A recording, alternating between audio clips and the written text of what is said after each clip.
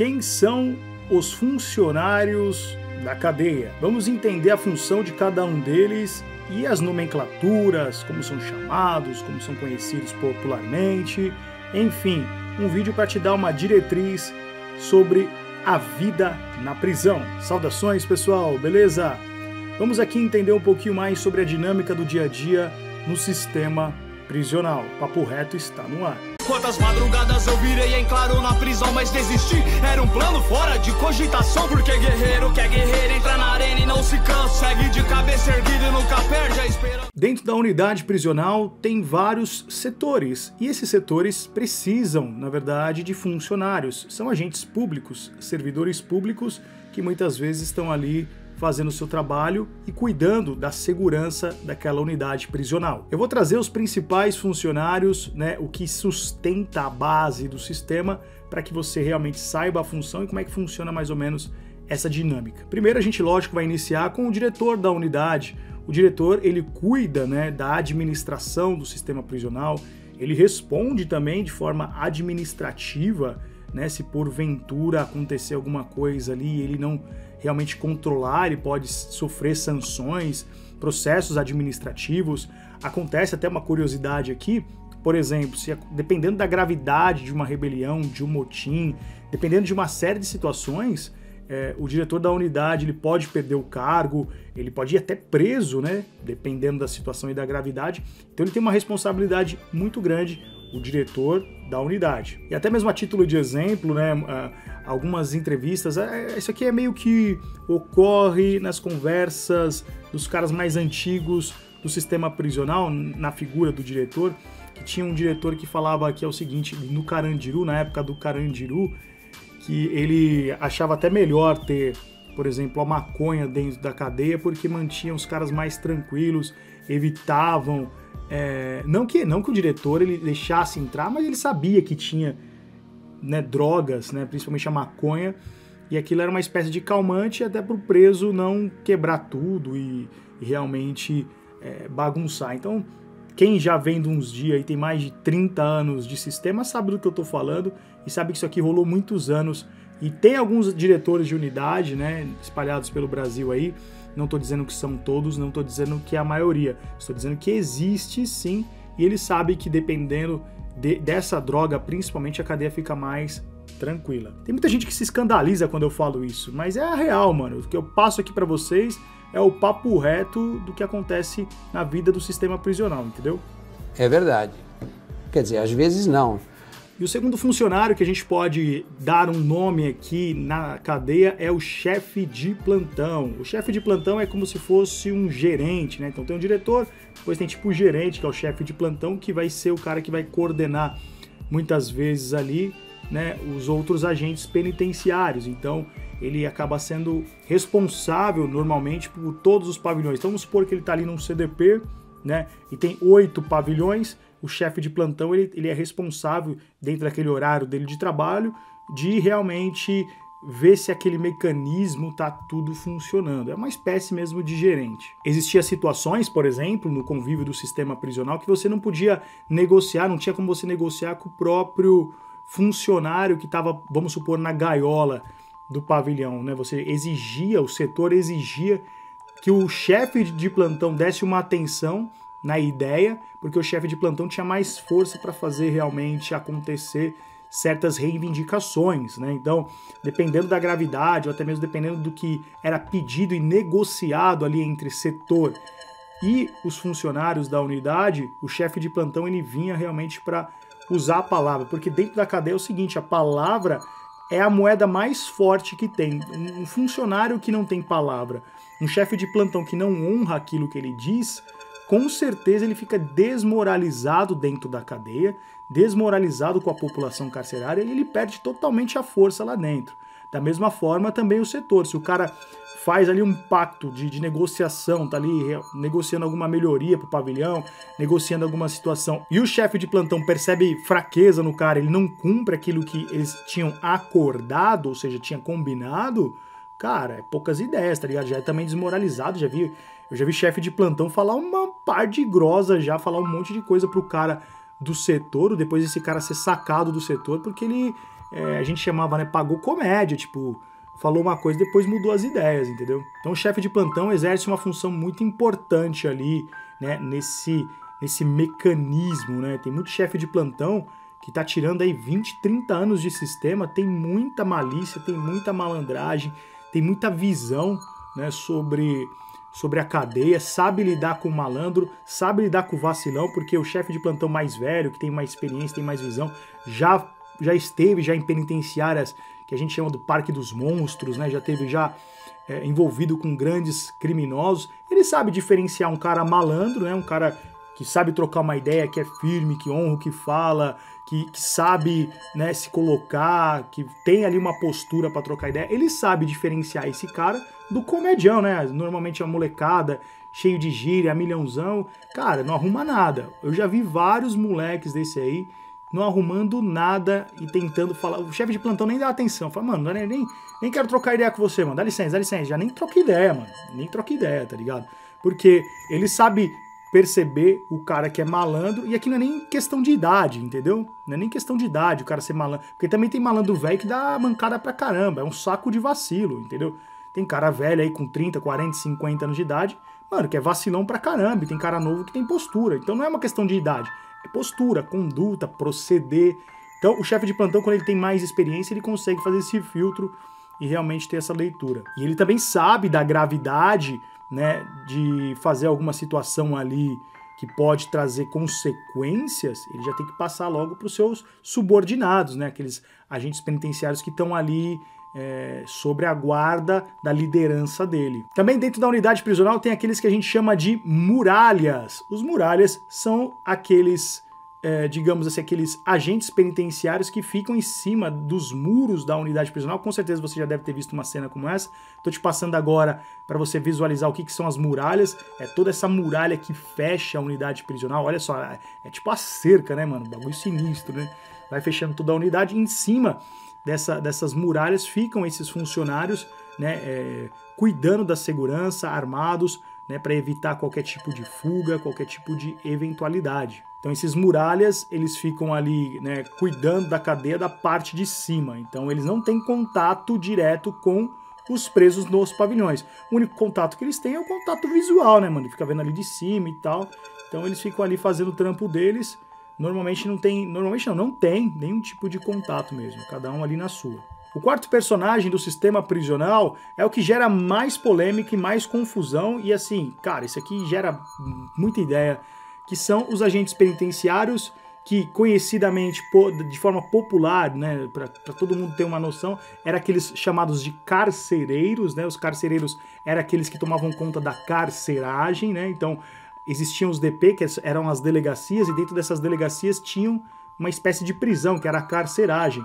E aí eles foram conhecidos dessa forma. Ah, o carcereiro. Normalmente o carcereiro é aquele que cuida da carceragem de uma, de, um, de uma delegacia. Mas acabou popularizando esse nome carcereiro. Então todas as vezes que a pessoa lembra do cara que toma conta de preso e fala, ah, o carcereiro. E eles odeiam ser chamados assim, né, mano? Eles não gostam de ser chamados de carcereiro, eles acham que isso rebaixam a, a classe né, desses, desses trabalhadores, desses servidores públicos, e houve uma lei né, que mudou e colocou alguns direitos, é, regularizou um pouco mais essa classe de trabalhadores e hoje em dia eles são chamados de policiais penais.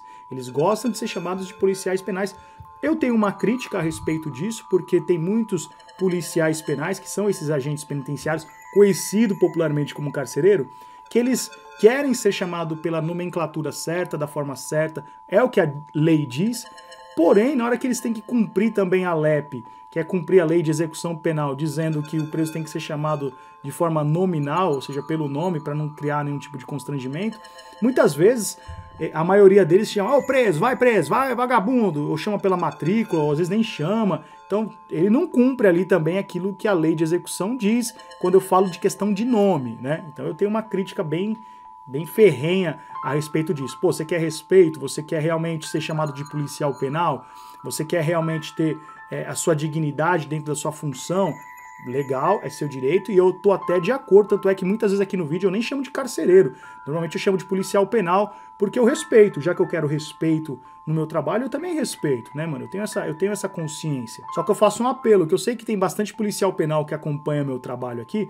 Eu faço um apelo para você, que você realmente seja então um cara correto também na hora de você tratar o preso. Ah, mas é vagabundo, você não é juiz, mano. Você não é promotor. Você... Se você quer julgar o cara, vai estudar direito, vai depois é, fazer um concurso para se transformar num juiz. Aí você vai lá e conduz, entendeu? Julga a pessoa. Agora, quando você está na função, você é um servidor público, você está ali cuidando do preso e a sua função é exercer aquilo que a lei de execução diz, pô, faz a sua então, porque aí realmente vai ter um respeito recíproco. Então eu falo isso aqui com bastante tranquilidade, entendeu? Porque tinha muito funcionário, esses policiais penais, né, que eles eram muito forgados, tipo, o cara e existe até uma questão psicológica por trás disso, né? Que muitas vezes tem, o cara gosta daquele trampo porque muitas vezes ele foi oprimido na vida dele, e uma vez que o cara foi oprimido na vida, quando ele tem o poder, ele passa a ser opressor, né? Então muitas vezes o cara foi oprimido, oprimido, oprimido, dá o poder pro cara, o cara começa a oprimir outras pessoas, né? Opressor, opressor, opressor.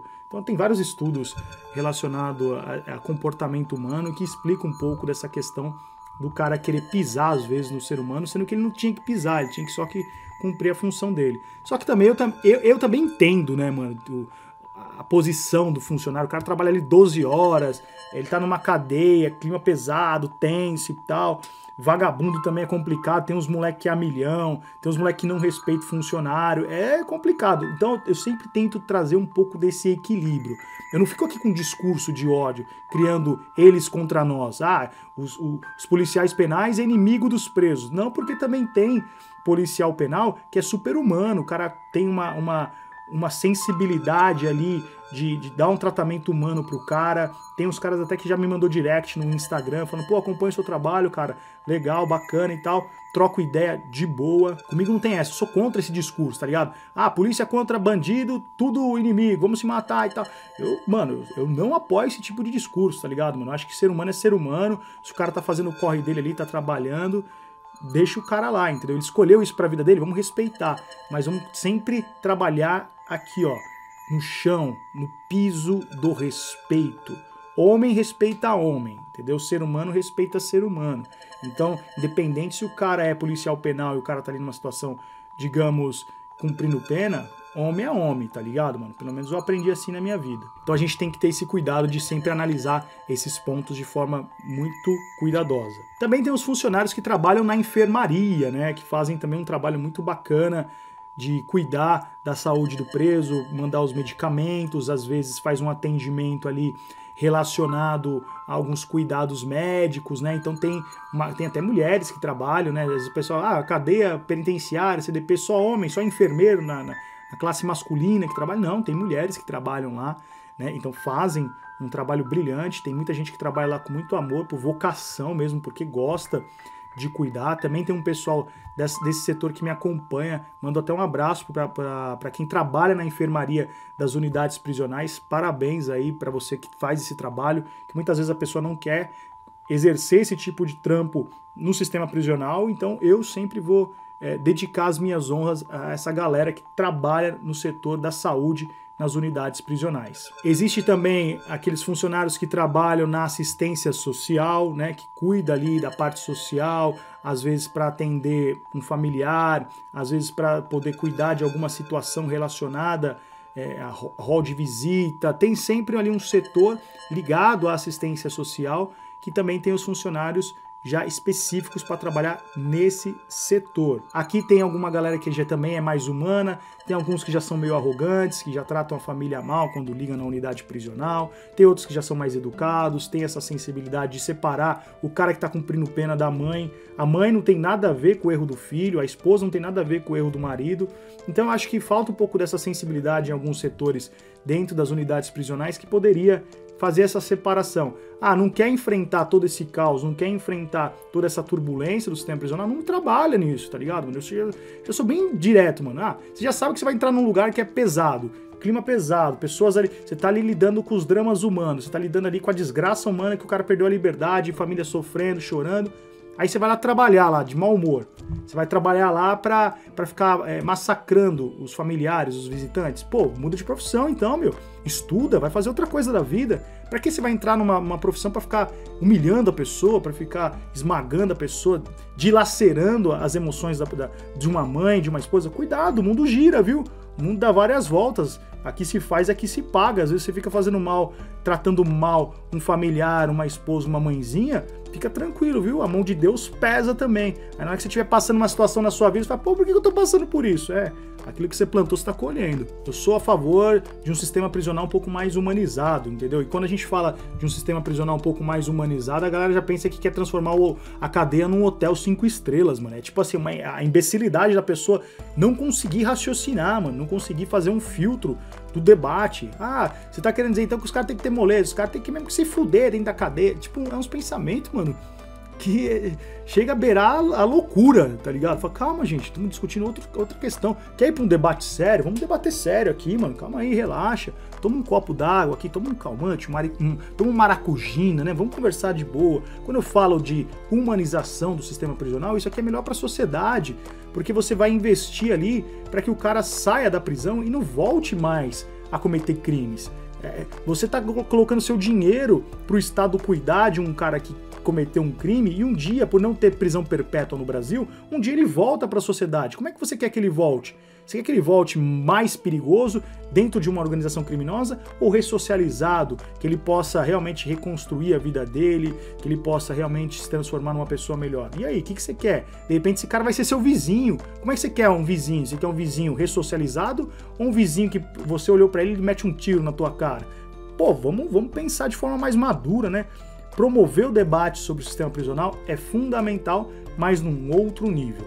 E também tem alguns funcionários que trabalham na CEMIC, né, que é, na verdade, o judiciário, que cuida da, da parte jurídica da unidade prisional. Então, é, é, é sempre uma galera ali né, muitas vezes um advogado que está trabalhando lá, que vai fazer o levantamento. Normalmente isso funciona mais nas penitenciárias, tá?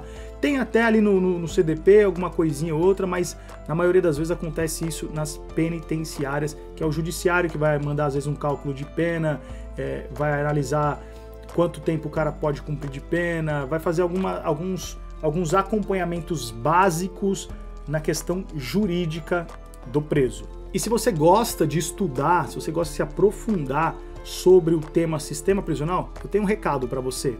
Confira. Um verdadeiro raio-x da prisão. Uma análise crítica do sistema prisional brasileiro. Nessa leitura, nós vamos nos aprofundar sobre a falência na execução da pena, um estudo profundo que vai te impactar.